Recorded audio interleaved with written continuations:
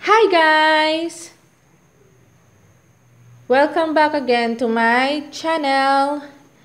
So, for today, ang gagawin po naman natin ay isauling strawberry recipe. So, eto po siya. Dahil Valentine's Day or malapit na po yung Valentine's Day, gagawa po ulit tayo ng Valentine's special recipe.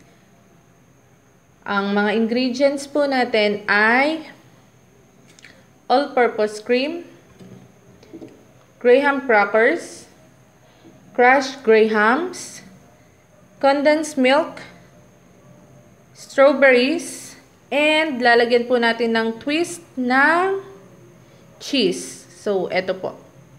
Lalagyan ko po siya ngayon ng cheese. So, ang tawag po dito sa ating recipe for today ay strawberry graham cake or strawberry shortcake. So, gagamit po tayo ng mixer and no bake po ito. So, hindi nyo po kailangan ng oven. So, meron po akong hand mixer.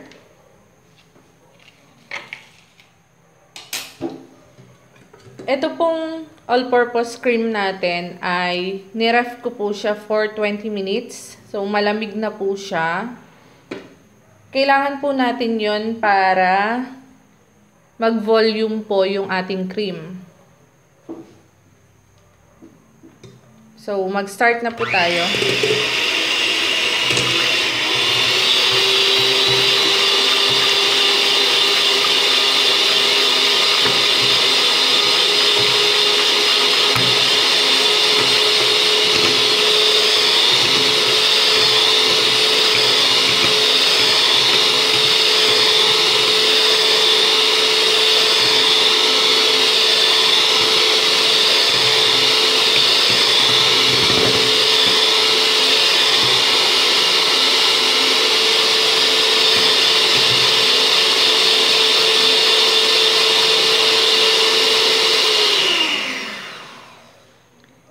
Papakita ko po sa inyo later guys kung anong magiging tsura niya later. So, diretso lang po tayo ng mix. So guys, papakita ko po sa inyo. Ito na po siya nung na-mix natin. Nag-volume na po siya. And tignan nyo po siya. Ayan po. Pero gusto ko pa po siyang mas dumami pa. So, mix lang po natin ulit.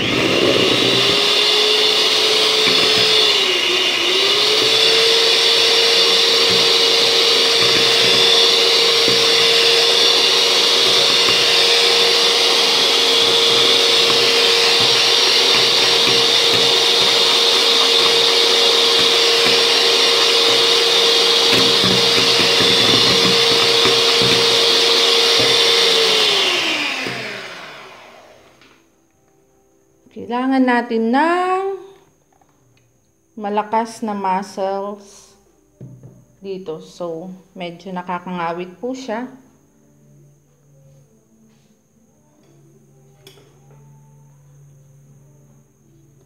I-add na po natin yung ating condensed milk.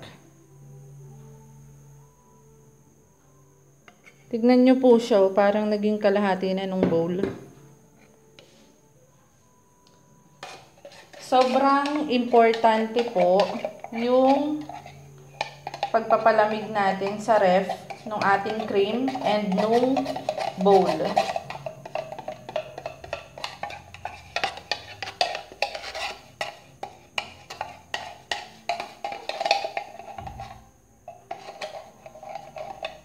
Kasi kung hindi nyo po siya napalamig, may hirapan po tayong paramihin yung ating cream. Hindi po siya aalsa. And then, mix lang po ulit natin.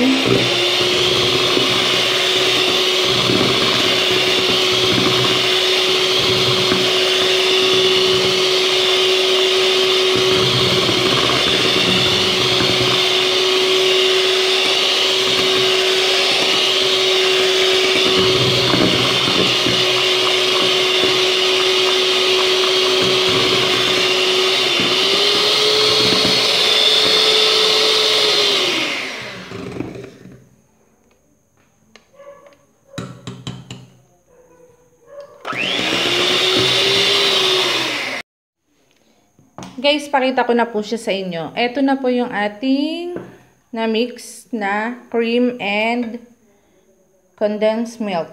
So, ayan po, ang dami na niya po. Ayan po siya. After po nito, set aside lang po natin. Meron po akong container. So, ito po yung gagamitin ko dahil gusto ko is may takip siya bago ko siya ilagay sa freezer. Pwede din naman po yung aluminum tray or kahit ano pong tray na meron kayo na may takip. Or yung aluminum tray, pwede nyo pong lagyan ng aluminum foil. So, ngayon lang po talaga gusto ko ay ganito para seal po siya talaga lahat. So, mag-start po tayo dun sa ating Graham crackers. So,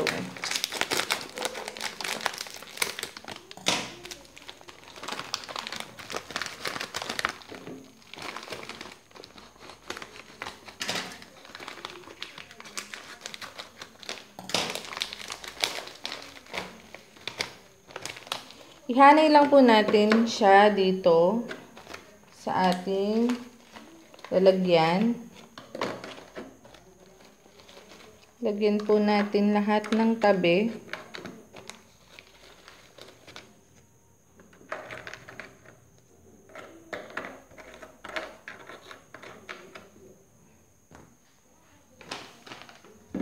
And lagyan po natin ng ating cream.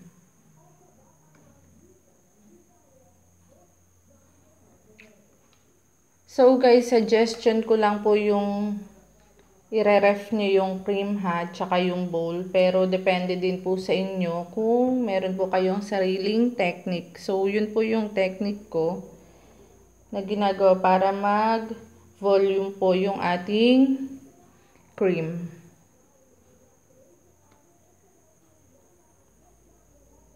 So mangyayari po sa kanya para siyang magiging ice cream.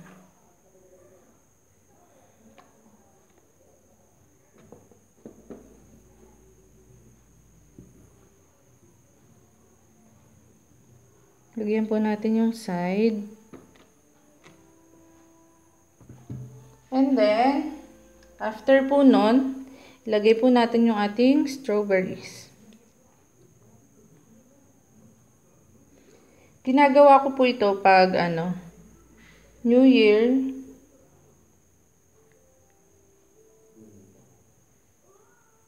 para maiba-iba naman po. Depende din po sa inyo kung anong fruits yung gusto nyong ilagay.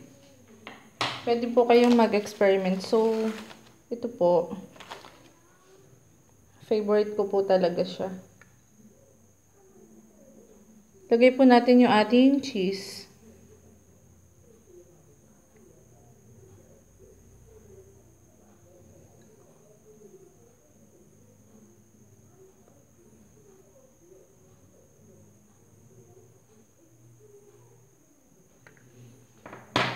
And, layer po ulit tayo.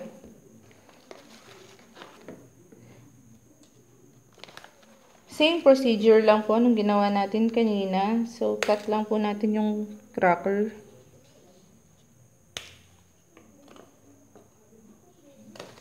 And then, lagyan natin ng cream.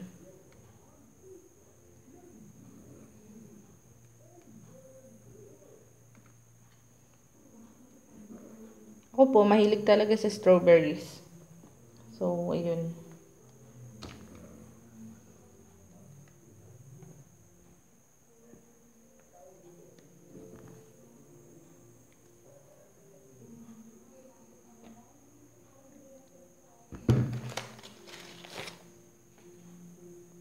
Then, strawberries po ulit.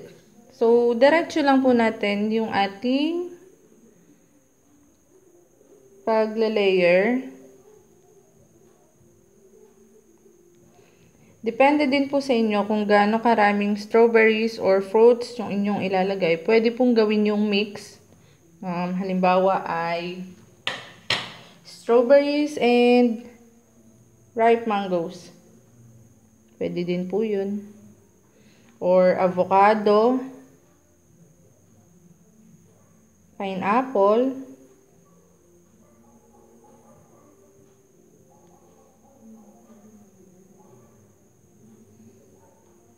Ako lang po, mahilig talagang mag-experiment sa kusina. So, diretso lang po natin guys. Then, pakita ko po sa inyo mamaya. So, guys, ito na po siya. And, yung crushed grahams po, lagi, nilalagay ko lang siya sa ibabaw.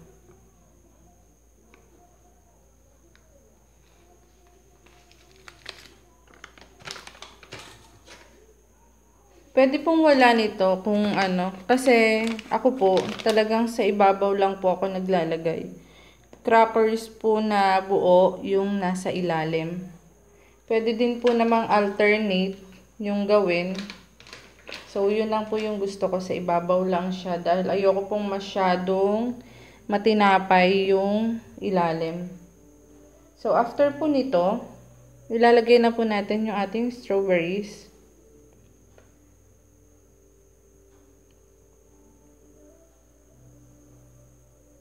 Depende naman po sa inyo kung anong pagde-design yung gusto nyo. Tignan nyo po siya, oh, halos napuno po yung ating container. Sobrang nag-volume po yung ating cream. So, yun po talaga yung gusto ko.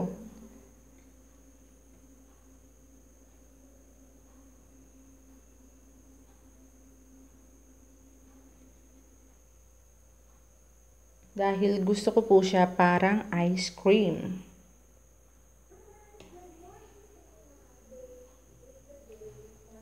And yung ating cheese.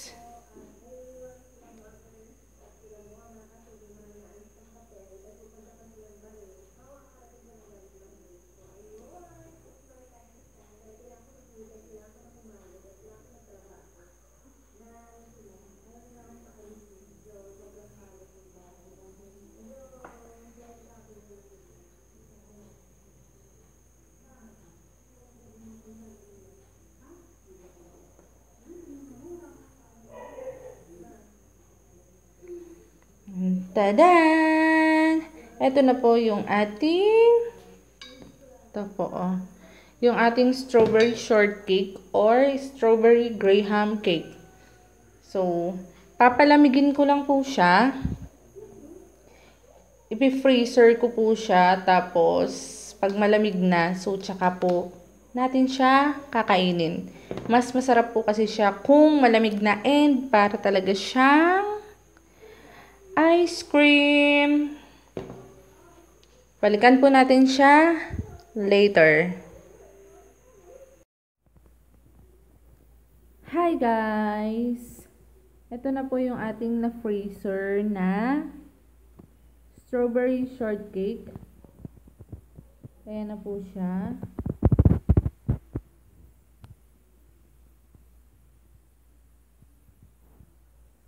Sana po guys ay nag-enjoy kayo sa ating episode today. Thank you for watching guys and don't forget to like and subscribe to my YouTube channel, Army's Kitchen and paklik na din po yung notification bell. Mag-comment na rin po kayo sa baba para po updated po kayo sa aking mga bagong videos. So, thank you guys. Till next time. Bye!